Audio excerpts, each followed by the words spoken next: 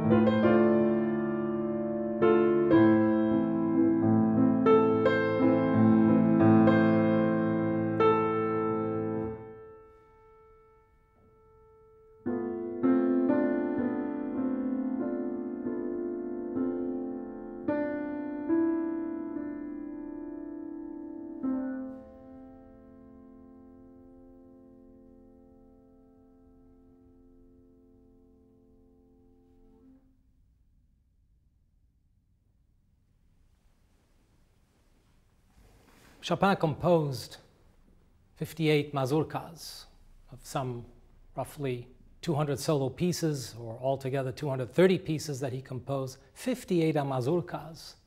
He composed mazurkas from the beginning of his life until the end of his life. Of course, a dance form in triple time, as we know.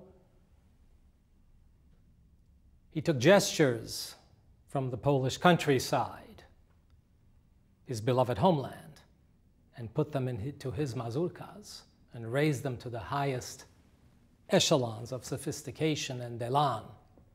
They're all gems and diamonds. This one is especially famous.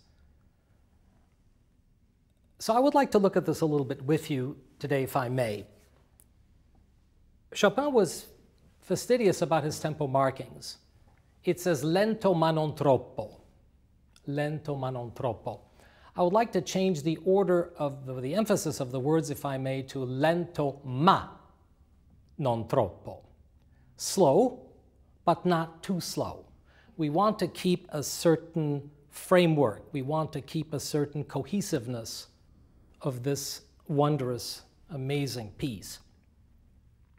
I had uh, someone write to me once uh, and say, uh, is, is this piece difficult to perform? Yeah, yeah, it's difficult to perform, definitely.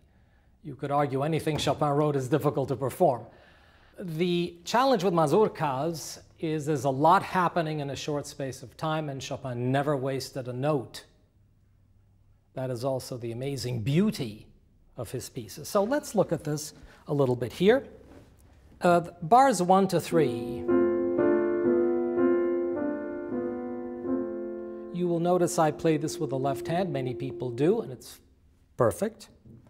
Lately, and I did this for years, lately I've taken this melody line here with the right hand. Then in bar four, a little emphasis on the first triplet, and then count the rest of the beats. Two, three. Give that plenty of space. It's very important how you start this mazurka or any, any, any piece. You want to set a mood, especially in this piece, yes? So.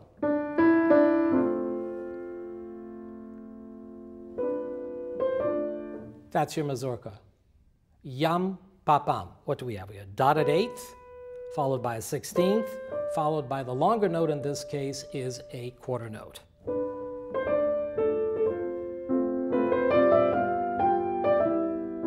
Listen to the left hand alone.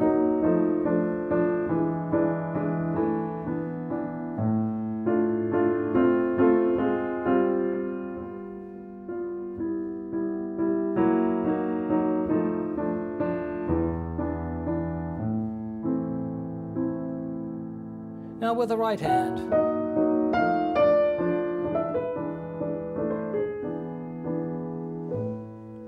Gosh, what do we have here? We have chromaticism.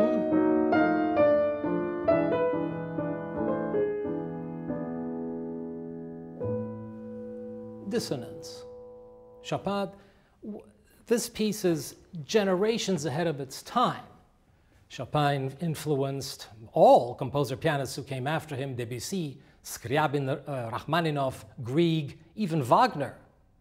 So I think it's important to understand the, uh, uh, the background and, and what Chopin is giving us here. I've even had comments about this mazurka that it sounds jazzy. Okay, I'll take it. That's fine. Here we have this turn. I'd like to hear every note.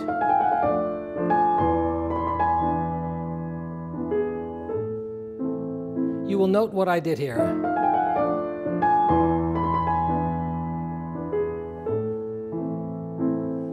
I took a little breath of air between the second and third beat.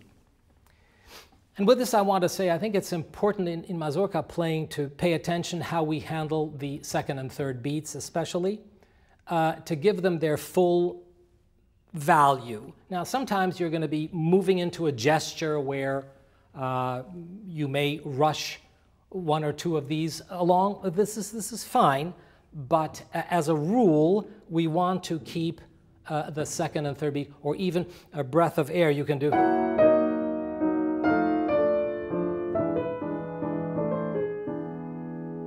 Not every time, but it's um, once in a while it's a good idea because it gives space, it gives breathing to the whole mazurka form, in my opinion. Okay, now the second time we have the same melody.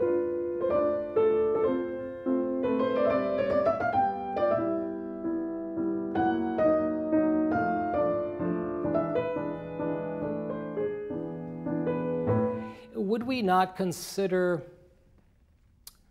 Um, I mean, this, this theme ap- appears four times in four pages. To play differently once, we can. Three or four different colors, or one or two different colors. Okay?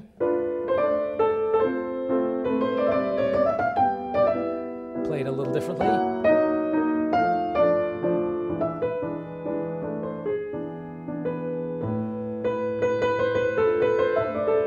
This bar, you have a group of six notes.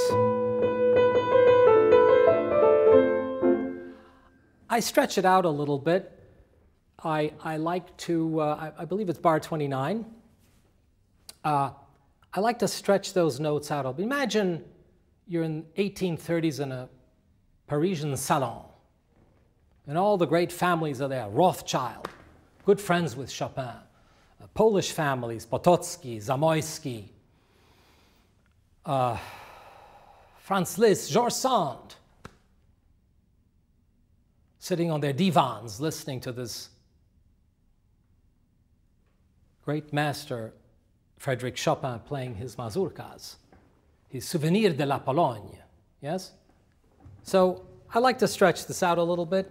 Doesn't have to be that way, it's just my idea.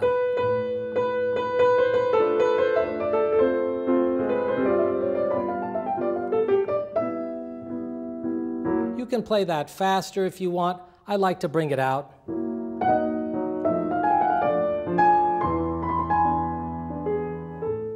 Now we come into a development section here.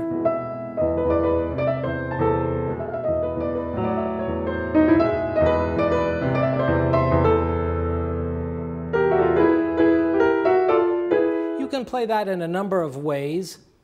Um, there's no change in tempo indication there, but a lot of uh, fine pianists I've heard put some energy into it or just play it plain. It's fine.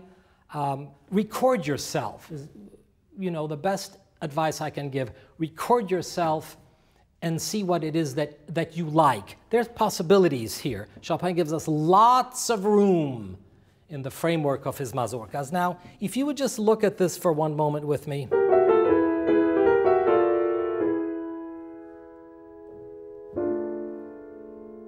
Let's listen to that. This is 20th century It was composed in what, 1832, right? Likely sketched earlier. Futuristic.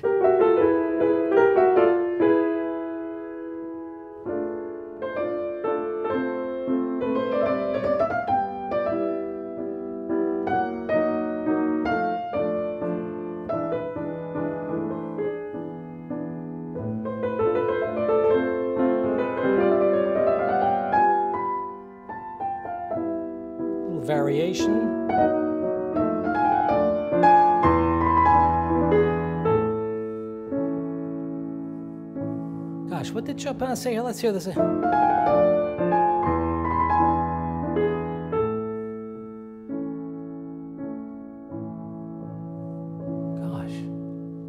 You know, Mazurkas took Europe by storm. Uh, critics were shocked, even offended. What, he's doing this, doing that, doing this, doing that. Yeah. Yes. As Alfred Cortot used to say, génie de Chopin. génie de Chopin. We are in A major, just like that for B minor, right?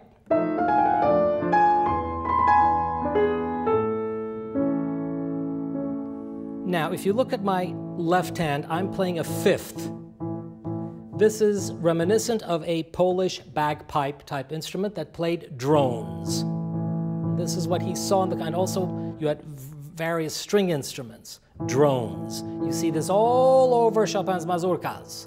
The gestures, the influence from the Polish countryside, yes? But still, your right hand is your singer. Gosh, here's another gosh moment. Look at this.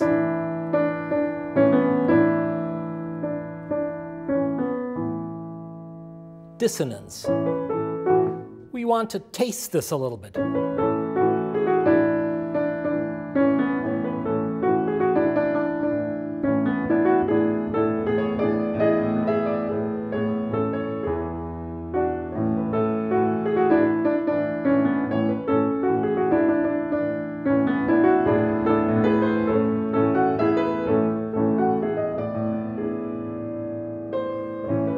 The concept of rubato a little example here, a lengthening or a shortening of a note or phrase, right?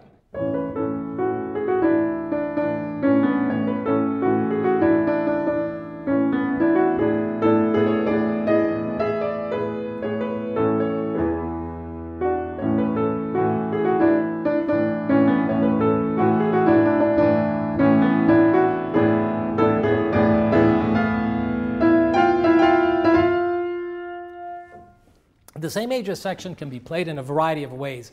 I've heard pianists play this in a ferocious virtuoso way. Perfect, fine, it works, it's wonderful. Or you can build up slowly. At the top of the music, it says dolce. Well, you can also play dolce. There are a variety of ways. Chopin gives us lots of room with which to do things and to use our good imagination. Record yourself, dear friends. I, have said this before. Record yourself and see what you like, yes? Okay, so we are at this uh, section, right? We come back to the theme for the fourth time.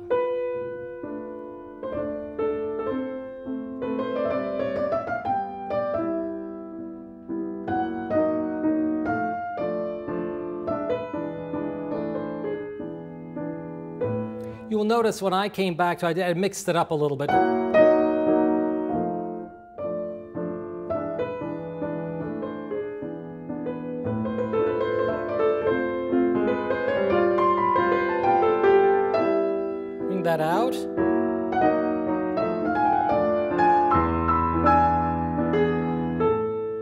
Play it differently than the way I play. It's kind of a coda thing. Here you have real mazurka and you have accent marks shown here, where uh, the rest of the mazurka, they're rare.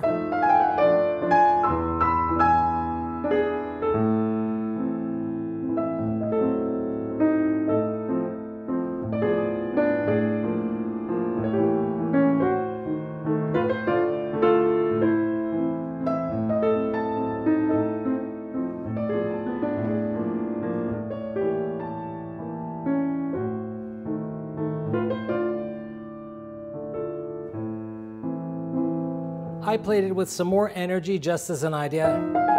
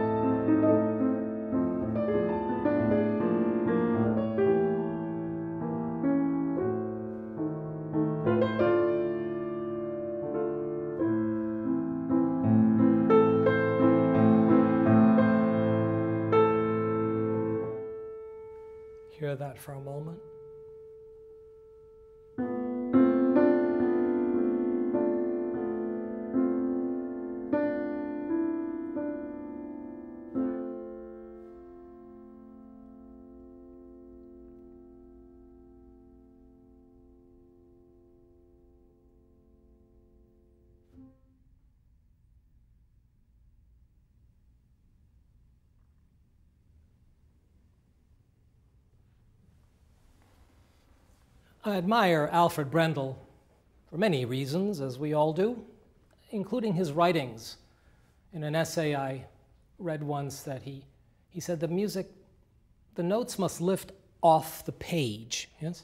Must lift off the page.